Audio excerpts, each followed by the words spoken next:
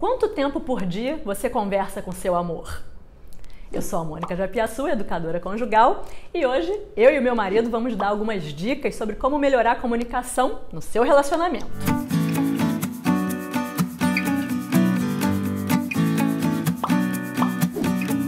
Os estudos geralmente apontam como as duas maiores causas de divórcio traição e dinheiro.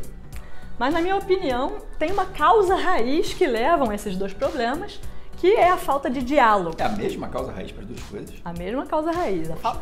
Eu, eu, ouso dizer que essa é a causa número um de divórcio. De qualquer assunto que falem que é a causa do divórcio, eu ouso dizer que não, não é isso. É a falta de diálogo que levou vocês a se divorciar.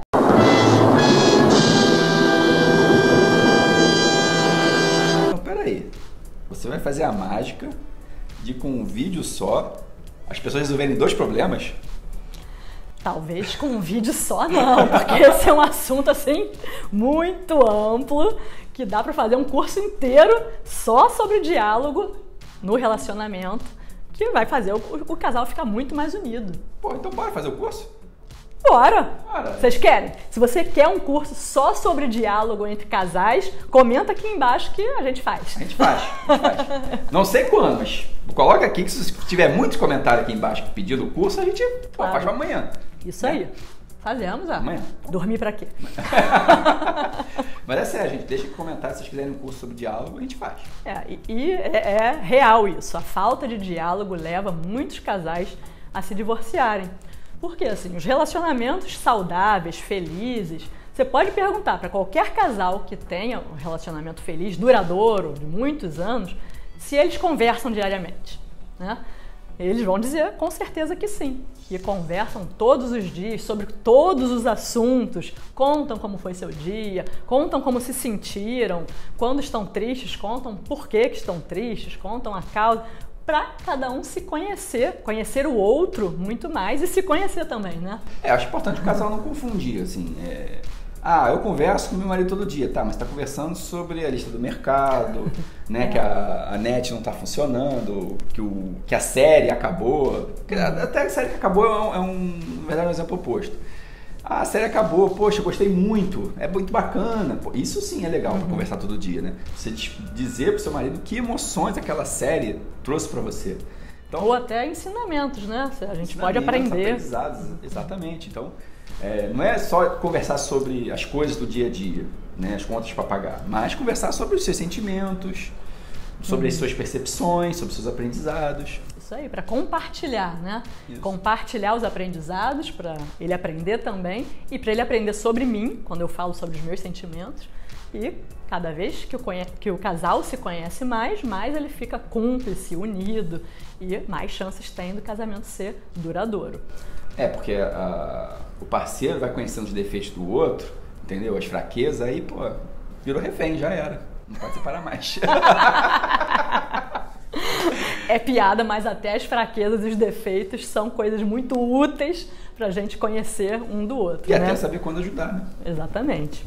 Agora, os casais que não têm um relacionamento saudável, que vivem reclamando do relacionamento, você pode ter certeza de que eles não estão tendo um diálogo constante, um diálogo é, tranquilo. Pode, pode até ser que eles falem, não, eu converso todo dia com meu marido ou com a minha esposa. Mas como é essa conversa? É discussão, é briga, é reclamação, é crítica. Aí não é conversa. Aí eu não considero que seja um diálogo, e sim briga atrás de briga. E esses casais que já não têm esse hábito de ter um diálogo constante, de conversar todos os dias sobre tudo, eles acabam não treinando como ter uma conversa tranquila quando eles precisam resolver algum problema. Então, aparece um problema que eles têm que resolver de qualquer jeito, eles já têm o hábito de deixar para lá, deixar o tempo resolver o problema. Isso é mito. Mito total, gente. O tempo não resolve nada. O que resolve é ter diálogo, conversar e ter soluções adequadas para os dois.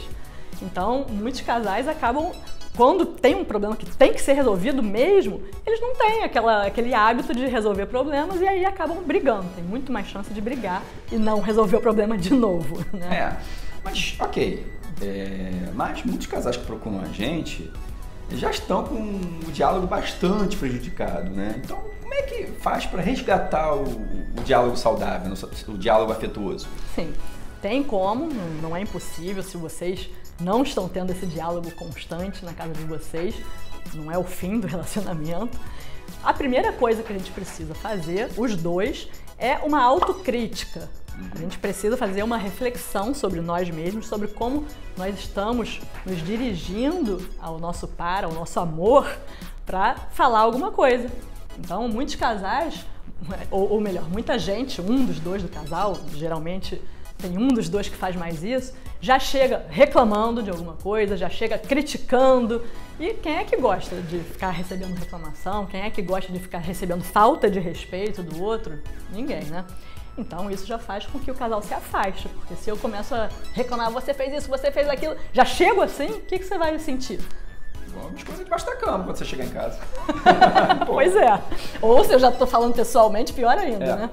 Porque aí, além do que eu estou falando, do que eu estou criticando e reclamando, ainda tem a minha expressão corporal que faz ele querer se afastar e não resolver aquele problema. Acho que uma coisa que, que, que, que falta às pessoas é pensarem que o, o tempo ele não é extensível, assim, o tempo é limitado e a gente tem que selecionar aquilo que a gente quer falar com a pessoa, né? Poxa, eu vou gastar tempo falando que ela é bonita, que ela é linda, que eu amo ela, ou que a louça não está lavada hoje? né? Assim, então eu prefiro falar que eu amo ela, que ela é linda, que ela é maravilhosa, sensacional, mas.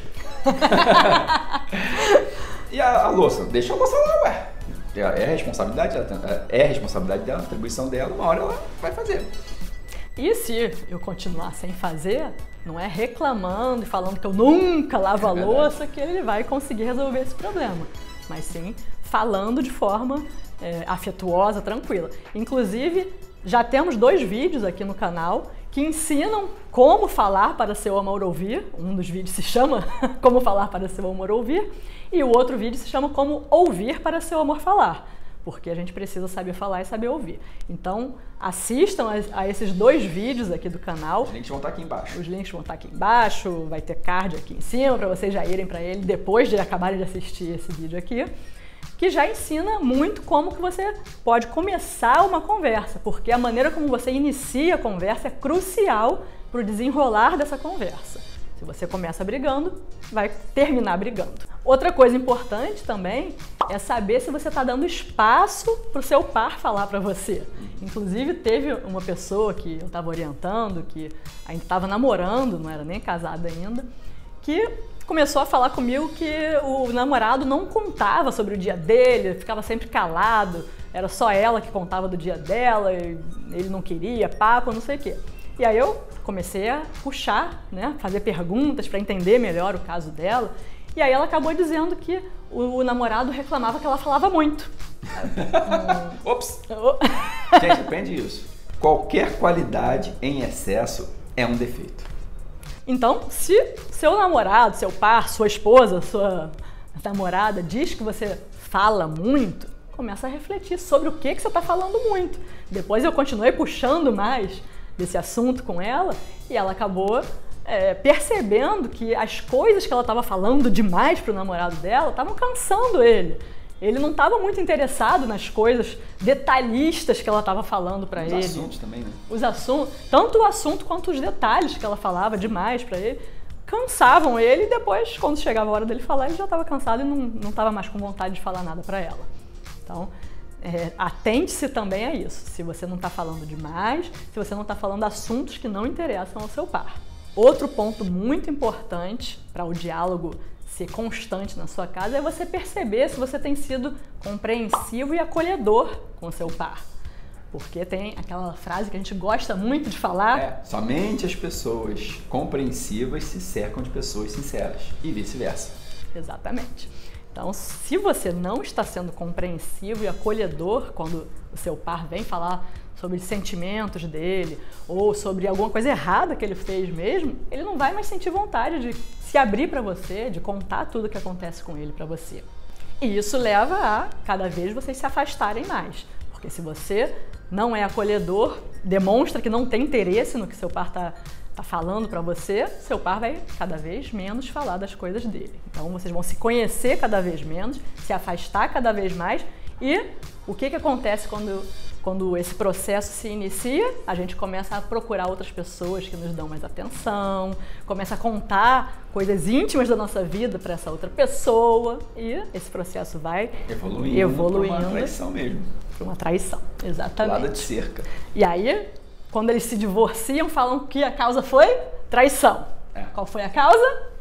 Falta de diálogo. Deixou de conversar, se afastou, procurou outro, se divorciou. Então, tome cuidado com isso também. Tá. Resumindo, então. É, tentando resumir, né? Porque o assunto é gigantesco. Então, a primeira coisa que os casais têm que ter cuidado é com a forma com que um está falando com o outro. Isso. É, é o diálogo afetuoso. Uhum. É, sem tantas cobranças, sem ficar é, denegrindo, reclamando. reclamando, até falando, ah, poxa vida, você é burra, não sabe que isso tem que ser feito desse jeito. Uhum. Né?